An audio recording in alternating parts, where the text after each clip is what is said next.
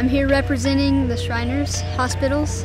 Well, I've been going to Shriners Hospital since I was two and I've had eight back surgeries and I have scoliosis. I started playing golf when I was four, I guess.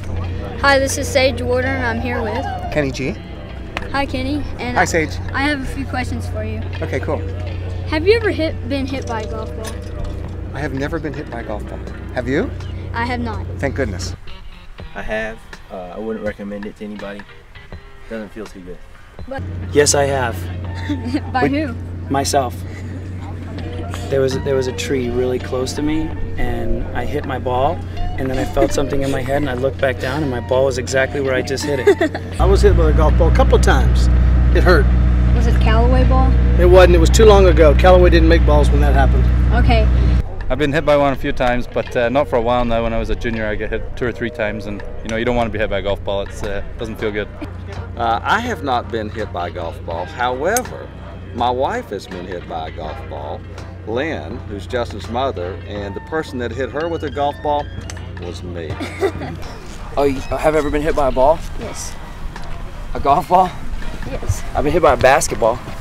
Um, almost. I was playing golf in Hawaii, and I was driving on the cart path, and then all of a sudden I heard, pow!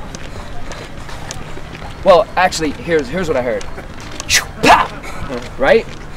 And I looked down, and there's a golf ball in my cart, and it literally whizzed right by my ear and hit the front of the golf cart on the inside and fell down.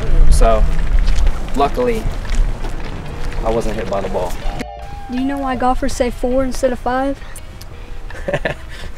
That's a very good question. Maybe you should institute that and start saying five, and maybe it'll catch on. That's a good question. Nick, why do golfers say four, not five? I don't know. I told him you should start that movement. Yeah. We should all start saying. Mostly we just say, look out! Yeah. More stuff. we do.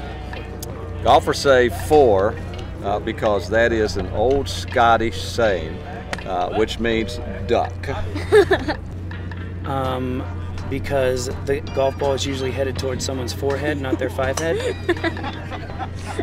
Good answer. Yes. okay. This is Sage Warner reporting for the JustinTimberlake.com. Thank you.